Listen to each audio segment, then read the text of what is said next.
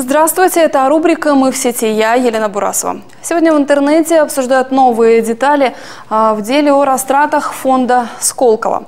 Следственный комитет готов возбудить уголовное дело в отношении депутата Госдумы Ильи Пономарева. На этой неделе специалисты направят в прокуратуру материалы, доказывающие его вину, и попросят лишить его депутатской неприкосновенности.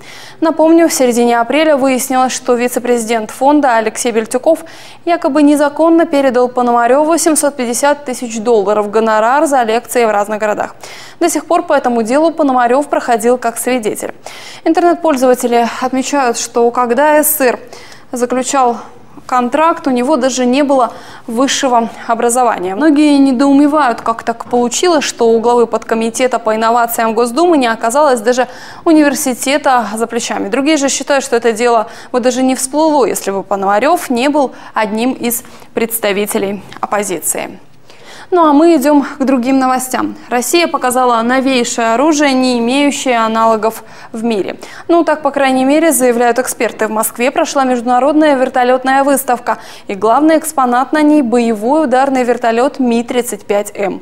Это модернизированная версия легендарного Ми-24. Установленные на нем управляемые ракеты позволяют на большом расстоянии поражать любые танки противника. Также вертолет вооружен 23-миллиметровой артиллерийской установкой и может брать на борт несколько блоков неуправляемых ракет. Эта машина может вести бой и днем, и ночью.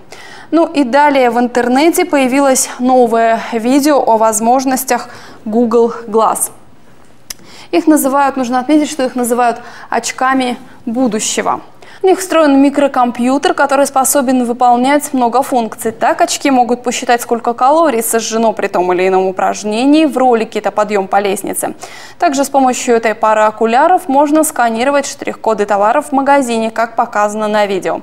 Следуя инструкциям к очкам, можно вызвать такси и следить машину во время пути. Это что касается простых функций. На видео показано, что с помощью Google Glass можно выполнять и сложные задачи. Например, использовать их как самоучитель для игры на гитаре. По мнению специалистов, гаджет даже способен спасти жизнь. Например, в ролике демонстрируется ситуация, когда постороннему человеку становится плохо, а обладатель очков спасает его, пользуясь инструкциями от Google Glass. Ну и напоследок мы продолжаем зачитывать истории вашей удачи. На этот раз нам прислали также несколько историй. Ульяна Владимирова для меня большая удача. Мои ребятишки-двойняшки, они для меня настоящий подарок судьбы. Лера Леонова пишет, что пять месяцев назад удачно устроилась на работу, и теперь она не в тягость, она занимается творчеством. И Максим Уразов пишет о том, что большая удача каждый день засыпать и просыпаться рядом с любимым человеком. Присылайте и вы нам свои истории удач, мы обязательно их будем зачитывать. Найти нас очень просто. Мы есть во всех социальных социальных сетях ВКонтакте, Твиттере, Фейсбуке. Мы не только в эфире, но и в сети. И помните, мы приносим удачу. До свидания.